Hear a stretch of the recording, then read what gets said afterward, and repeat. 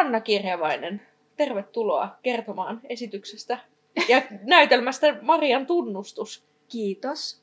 Haluatko kertoa vähän niin tästä, että missä vaiheessa me ollaan nytten, nyt tämän esityksen kanssa? Joo, mehän ollaan siis esityksen kanssa siinä vaiheessa, että meillä on tänään ennakko ja huomenna ensi-ilta. Ja eilen oli ensimmäinen yleisö. Ja, ja tota, ollaan jännän äärellä. Kyllä. Oliko paljon teillä porukkaa? Oli siellä vissiin parisenkymmentä. Voi kun hyvä. Joo, Joo. Kyllä. se on just hyvä, hyvä määrä tähän, tähän kohtaan esityskautta. On, kyllä. Ja sitten iloista siinä oli vielä sen, että sain varmaan niin kuin elämäni ihanimman palautteen eräältä vanhalta ystävättäreltäni, joka tuli itkien halaamaan mua ja sanoi, että ymmärrätkö mitä olet tehnyt tyttö ja mä sanoin, että no en kyllä nyt ihan ymmärrä. No seuraavat sukupolvet ymmärtävät. Aivan mahtava. Joo, Joo. Onpa, onpa hieno palaute kyllä. Oh. Joo. Joo. Mutta ehkä sitten tuosta näytelmästä voisi lähteä siihen, että mistä, mistä Marian tunnustus kertoo, mistä siinä on oikein kysymys? Mitä katsojille pitää sanoa, että siis Taijahan on lukenut tämän näytelmän. Niin, Hän kyllä. kyllä tietää. mutta, äh, äh, Marian tunnustus äh, kertoo Stalinin selliin suljetusta naisesta, Inkerin suomalaisesta Mari Jalavasta, joka, joka tota noin, on perustamassa uskon yhteisöä tai luterilaista seurakuntaa Petroskoihin tuossa 40-50-luvun vaihteessa.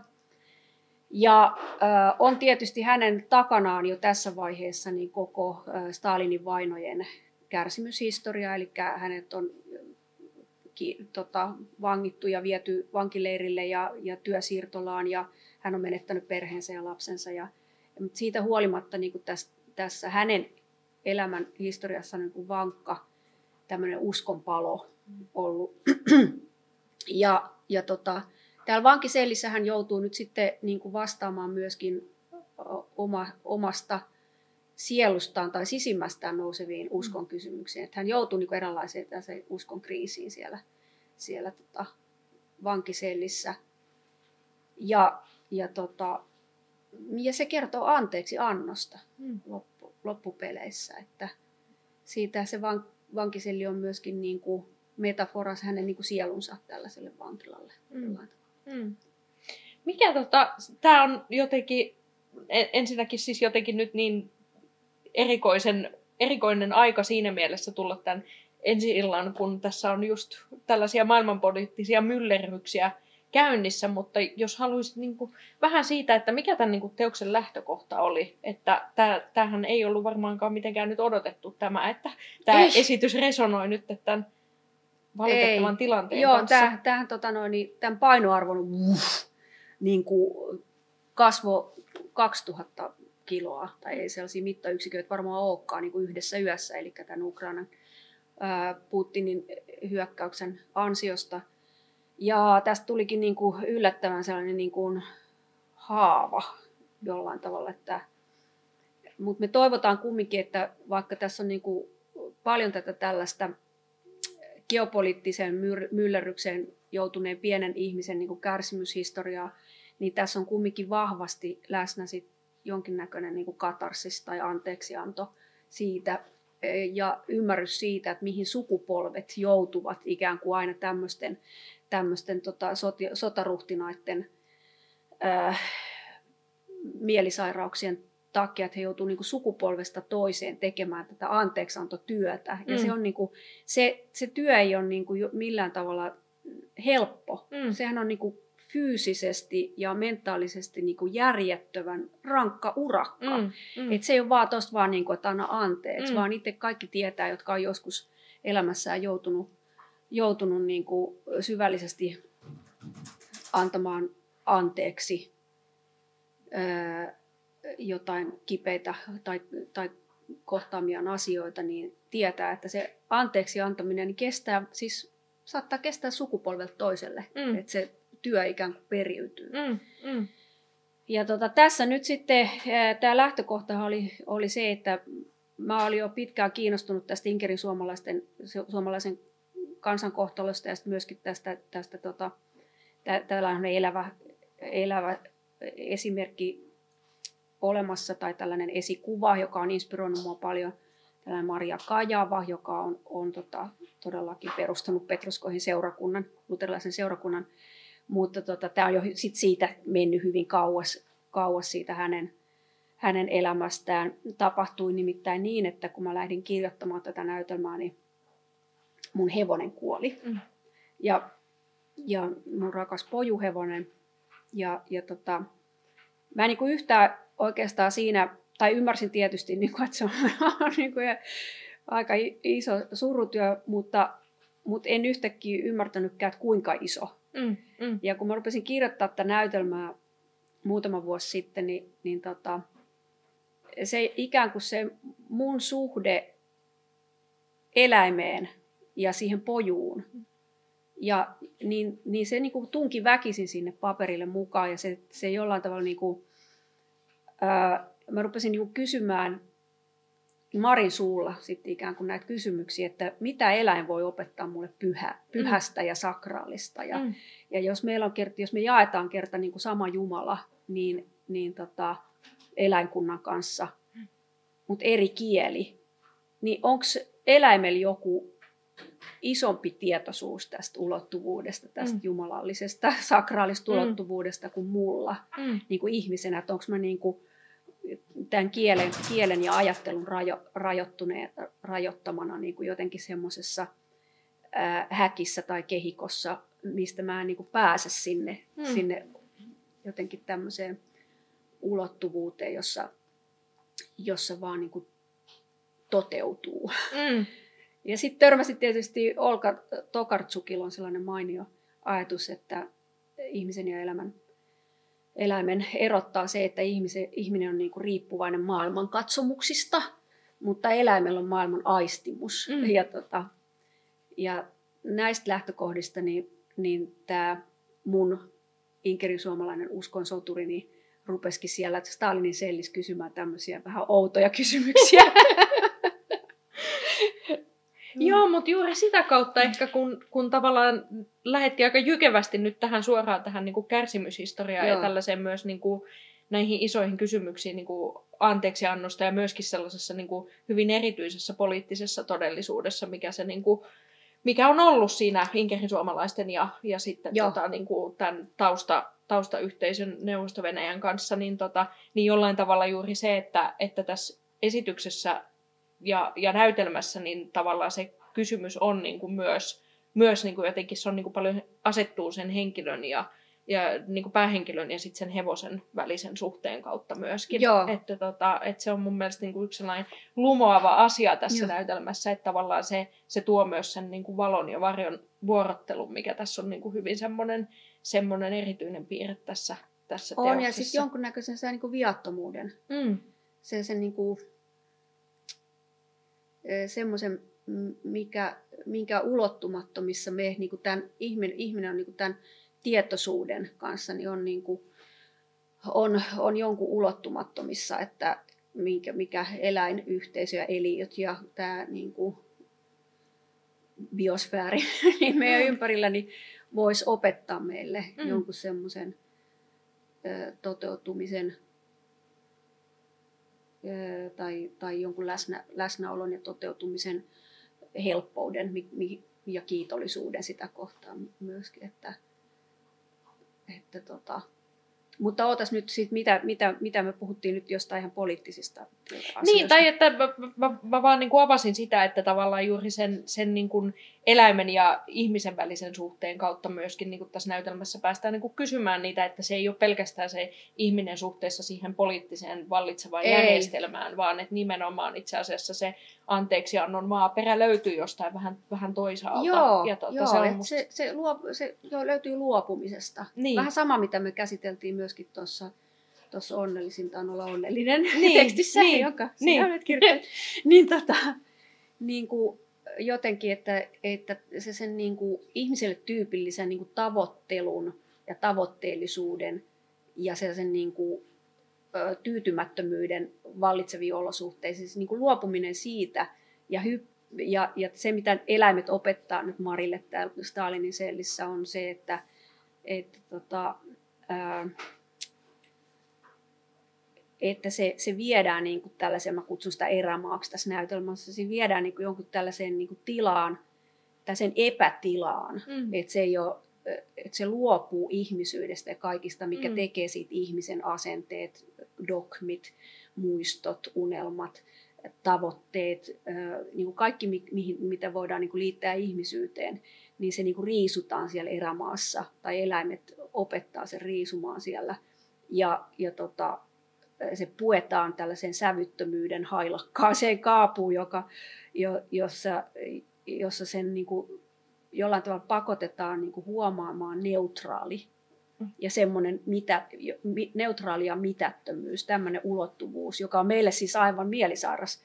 Jos me mm. ajatellaan, että mehän täytetään koko ajan itteemme mm. niin kuin kaikella mahdollisella mm. tota, tiedolla ja, ja olemisen tällaisilla impulseilla, niin, niin tota, että että itse asiassa se luopuminen, mutta nämähän on tietysti hirveän paljon myöskin, myöskin tällaisia buddhalaisia oppeja, että, että, mutta ei ne mun mielestä kristinuskoskaan kauhean kaukana ole. Mm, siis mm. tämmöinen köyhyyden filosofia ja, mm. ja tota, luopumisen ja asketismin mm. kautta, että, että onhan niin kuin läsnä, läsnä tässä meidän valtion kirkon uskonnossakin. Miten sä tota, tulit tarttuneeksi tähän pyhän kysymykseen? Mua kiinnostaa, että, että mitä, mitä se tarkoittaa sulle myös taiteilijana noin muuten, että, että tota se, kun sä valitsit nyt tähän, tähän jotenkin myöskin tämän niin kuin kysymyksen siitä pyhästä, että kyllä se tässä on läsnä, että siinä on kysymys siitä anteeksi annosta ja, ja niin kuin koko tämä, tämä myöskin tämä niin kuin tämän luterilaisen kirkon perustaminen, jos ajatellaan tässä niin kuin juonitasolla on se asia, mutta että kyllä tässä aika paljon myös kysytään sen pyhän perään. On, niin, on, mistä, joo. Mistä joo. Tämä...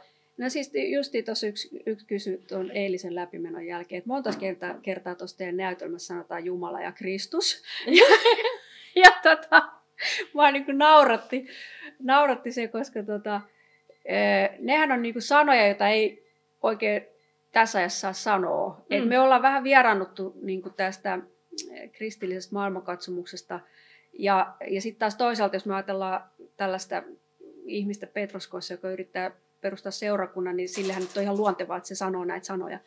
Mutta tota, mm, ää, mutta tota noin, niin varmaan se on niin kuin lähtee aika pitkälle se marssijärjestys on mulla ollut se, että, että kun mä oon kiinnostunut siitä, että miten joku voi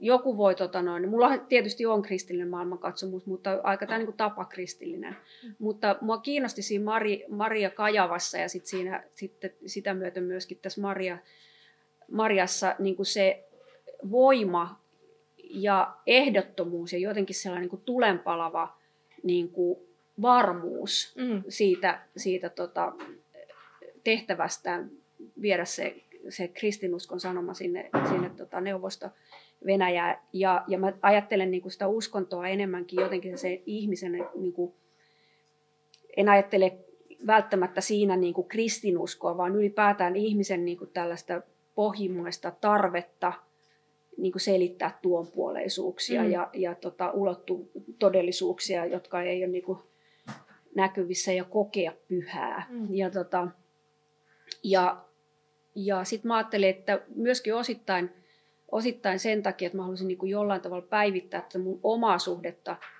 kristinuskoa, että mitkä siinä on, niin kuin, mitkä, mitkä siinä on niin kuin esteenä, että mä en voi niin kuin, tai, tai että mä en voi kokea sitä niin kuin elävänä. Mm, mm. Ja, tota, ja se lähti niin kuin monesta eri jutusta, mutta se marssijärjestys oli varmaan ensin, ensin se, että, että mua kiinnosti tämä niin kuin tällainen äh, miss, niin kuin tulenpalava missio. Mm. Et, ja, ja vielä yhteiskunnassa, missä, missä uskonto on kokonaan kielletty mm. ja siitä niin kuin helposti menetti päänsä tai joutui kuopan reunalle. Ja, tota, ää, ja, mutta, mutta myöskin sitten, kun mä rupesin niin kuin elä, eläimen kautta niin kuin kysymään tätä, että mitä eläin opettaa mulle pyhästä, niin ää, ajattelenkin tällä hetkellä niin, että ne on niin kuin kaksi tosi eri asiaa. Siis se, että että jos meillä on niin kuin tällainen vaikka luterilaisuuden dogmit tai, tai tota, ää, mä oon niin tosi, to, tosi kiitollinen, että meillä on luterilaisuuden dogmit ja että meillä on ylipäätään joku järjestäytynyt or, niin kuin kristillinen organisaatio. Musta se on ihan tosi hyvä ja tekee ihmisille hyvää, mutta, mutta tota, se tällä hetkellä musta tuntuu, että se ei niin kuin vastaa ihmisten tällaisiin sielullisiin tarpeisiin niin kuin, ää, ja vastauksiin niin pyhästä. Mm. Ja, ja tota, nyt varsinkin mun mielestä luterilainen kirkko Suomessa niin tekee valtavan virheen ajattelemalla, ajattelemalla sillä tavalla, että, että tota, ää, heidän pitää niin arkipäiväistää ja, ja kirjaimellistaa tätä ja mennä, mennä mukana tendensseissä ja virtauksissa. Mm. Kun, kun tota se koko, koko juttuhan se, että, että me kaikki jollain tavalla niin aistetaan, että, meidän, että meillä on niin ulottuvuuksia ja toisia todellisuuksia, jota, johon, tota noin, niin, ää, johon niin kuin esimerkiksi taiteen kautta pääsee helpo, helposti ja miksei niin kuin uskonnonkin kautta. Mutta tota, ää, niin, niin tota, et itse asiassa ää, mun mielestä kirkkojen pitäisi olla hirveän paljon enemmän kiinnostuneita ja, ja siitä, että mikä meidän suhde on niihin muihin ulottuvuuksiin mm. ja missä niin kuin kielen tuolle puolelle. Ja, ja, tota, ja eikä niinkään niin kuin läsnä ihmisten tällaisessa sosiaalisessa arjessa. Et, tota, ää, ja pappien tehtävä olisi todellakin niin kuin olla tämä jonkinnäköinen niin kuin, tämmöinen välikappale siinä ulottuvuuksien välissä, mutta nythän ne on tuolla niin kuin ihmissuhdeohjelmissa. Ja niin, niin, mä mietin, että tässä, tässä tavallaan niin kuin, äh, ju, juuri näin, mutta mun mielestä tässä, jos tässä näytelmän ulottuvuudessa, niin se tavallaan äh, on, on myös jotenkin tosi hieno se, että se asettuu kysymään sitä, sitä sen niin kuin uskon, uskon yhteisöä tai itse asiassa niin kuin sen, ylipäänsä sen yhteisön rakentamista. Ja se Joo. tuntui nyt, niin kuin, kun luin sen nyt tässä taas äh, tähän hetkeen valmistautuessa uudelleen tämän näytelmän, niin, niin se tuntui sellaiselta myös, että, että juuri tänä, tällä hetkellä tässä, tässä tilanteessa, kun, kun, missä me eletään, niin tavallaan se niiden myöskin sen niin kuin yhteisön, yhteisön rakentamisen sellainen mahdollisuus, niin se tuntuu niin kuin myös hirveän tärkeältä, että toki oh. siinä on niin kuin nämä, nämä myös nämä hengelliset, tai että tämä on niin kuin tosi tärkeä asia tämä hengellisen ja elämyksellisen Joo. Ö, uskon, uskon niin kuin läsnäoleminen, mutta myös tässä se, että, että tässä on niin kuin henkilö, joka nimenomaan haluaa lähteä rakentamaan sitä ja kutsumaan niin kuin koolle sitä yhteisöä, on. jonka kanssa niin kuin lähtee rakentamaan Kyllä. sitä yhteiskuntaa myös uudelleen. On, on, joo. Ja sitten tota, joo, kyllä. Ja sitten sittenhän se tietysti niin kuin tämän, tämän tota, jollain tavalla myöskin tämän päähenkilön kautta niin kuin törmää siihen, että tässä että hän haluaa koneiston mm. niin kuin, äh, tota, musta oli niin mieletön, kun Mika Aaltola oli se joku kolumni, että voima tarvitsee aina vastavoiman tässä mm. nyt Hesarissa joku päivä. Mm. Niin tässä niin kuin, tavallaan tämän Marin kohdalla ihan sama, että hän, hän tarvii niin kuin, ankaran uskon koneiston, niin, niin. jotta hän pärjää tämän punakoneiston kanssa.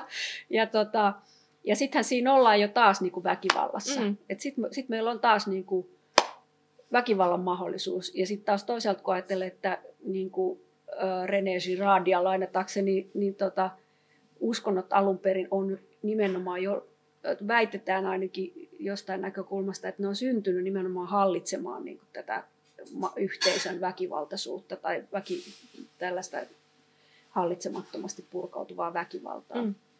Ja, tota,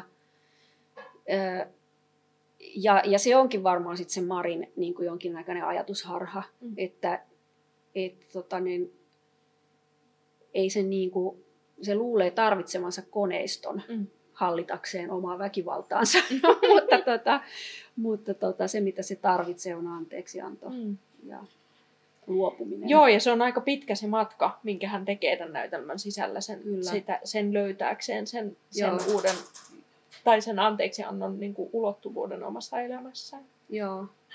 Mä myös jäin tuossa mm, miettimään sitä, että, että No itse asiassa voisi ehkä niinku puhua siitä, että kun sulla on tällainen aika itäinen aihe myös, ja, ja se, että sul, sä oot niin aikaisemminkin myös esimerkiksi muutama vuosi sitten ohjasit Lahden kaupungin teatterin Ikitie, näytelmän, joka oli niin kuin vähän samoilla, ää, sa, samantyyppisessä tota, aika ja, ja niin kuin paikassa, että, että Antti Tuurin loistavan romaanin pohjalta teit hienon sovituksen ja, ja sitten tota, si, sen kautta niin kuin käsittelit tätä aiheita. Niin miten, miten sulle tämä tää, tota Venäjän ja Suomen Suomen sukuinen, tai Suomen sukulaiset siellä Venäjällä, miten, miten tämä niinku kiinnostaa sua?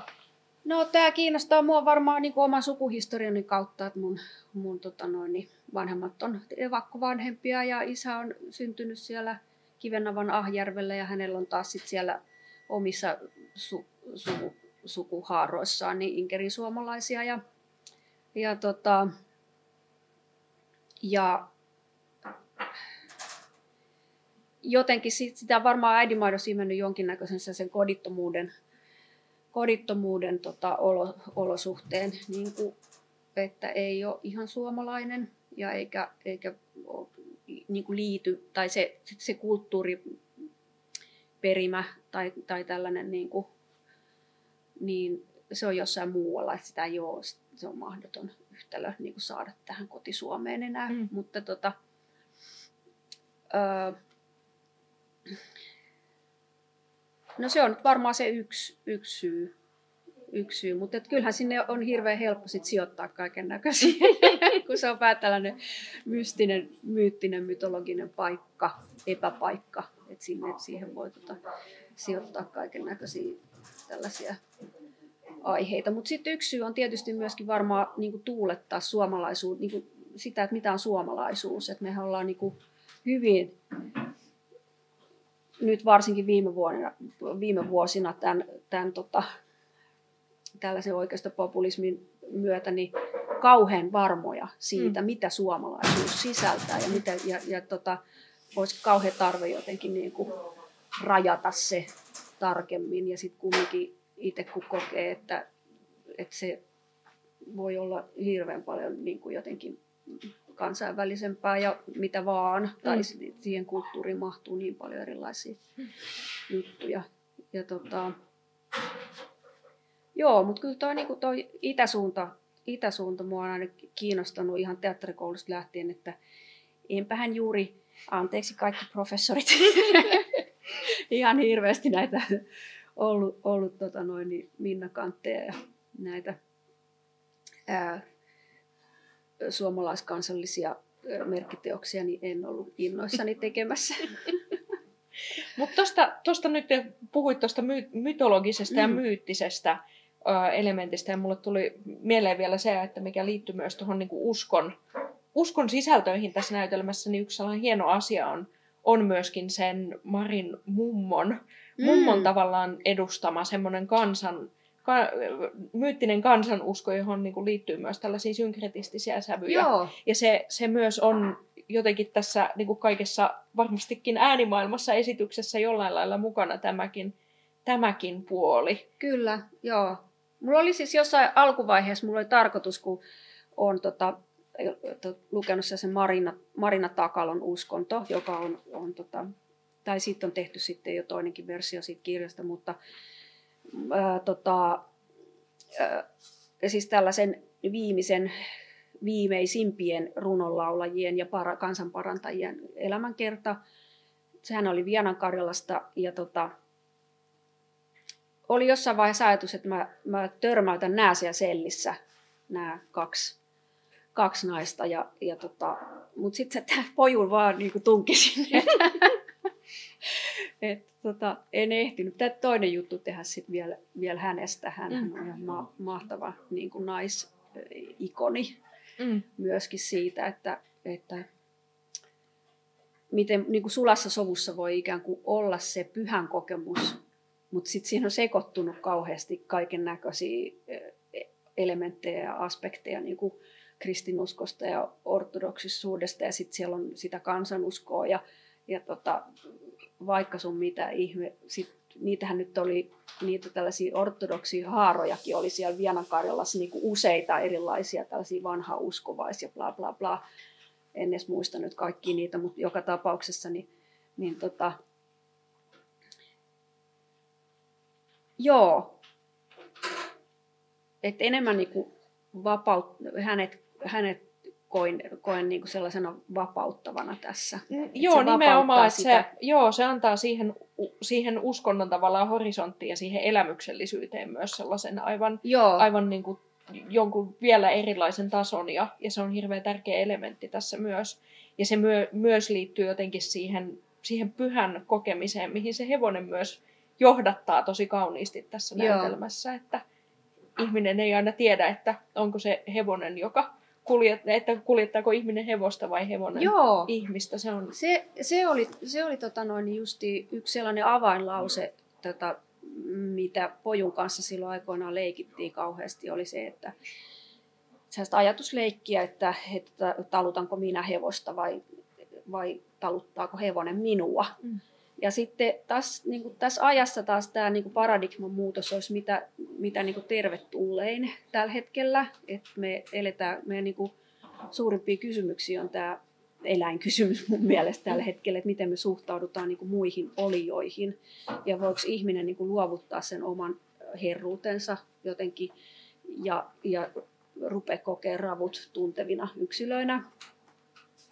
Ja, ja tota, ja, ja yksilöinä, jotka, jotka, joilla on jotain semmoista tietoa ulottuvuuksista, mitä meillä ei ole. Mm. Ja, ja jotenkin yrittää myöskin oppia niitä, että niitä, niitä tota, todellisuuksien eri eliölajien todellisuuksien lainalaisuuksia, niin se olisi niin kuin hienoa. Meidän ei tarvitse niin matkustaa tuonne muihin universumeihin ja avaruuksiin, Elon Musk.